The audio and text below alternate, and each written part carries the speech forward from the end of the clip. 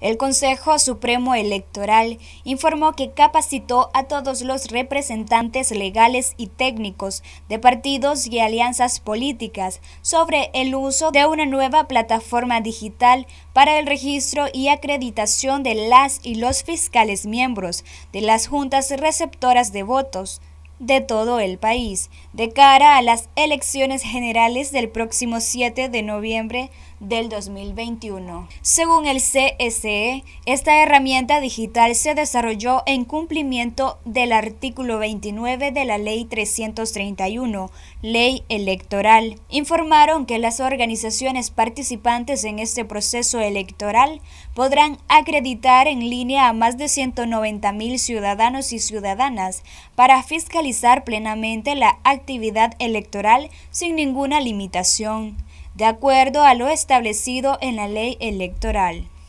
También expusieron que esta plataforma digital proporciona todas las herramientas necesarias para registrar de manera sencilla, ágil y ordenada la lista de los y las fiscales. Igualmente garantiza que se cumpla con el principio de equidad y alternabilidad de género ya que está diseñada para que el ingreso de datos genere información útil en cumplimiento de lo mandado por la ley en relación a garantizar la presentación del 50% de mujeres y 50% de hombres en las listas de fiscales de cada partido y alianza política. Luisa Centeno, Noticias 12.